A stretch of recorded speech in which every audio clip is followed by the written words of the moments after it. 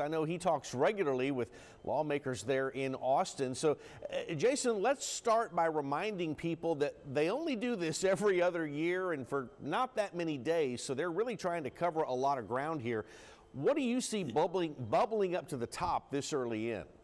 Yeah, Mike, it's uh, you know every other year. It's uh, two years that they meet, and it's 140 days, just five months that they actually get together. But these are are just now emerging. These three topics uh, as conservative priorities. The first is uh, whether to ban children from social media apps, things like Facebook, Instagram, TikTok, Twitter, uh, things like that. It was last July, last summer, when State Rep Jared Patterson from North Texas first brought this up. And the reason he was bringing it up, he said, you know, the, the peer pressure surrounded by social media apps, even, you know, talk of suicide, these things could be detrimental to, to children. So this will certainly be something that lawmakers will be talking about. Secondly, Republicans, a number of Republicans in leadership in Austin tell me they are likely going to go after doctors who perform sex change on uh, on minors. So that's certainly something they'll be going after. You know, in years past, they have considered uh, ways to uh, address transgender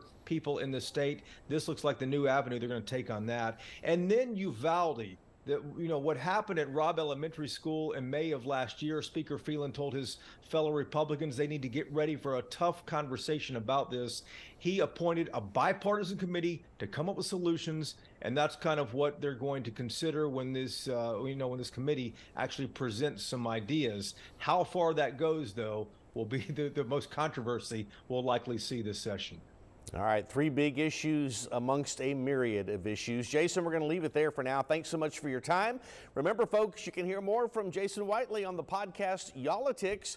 You can also find that on our website. And be sure to watch Inside Texas Politics right here on KIII Sunday morning at 5.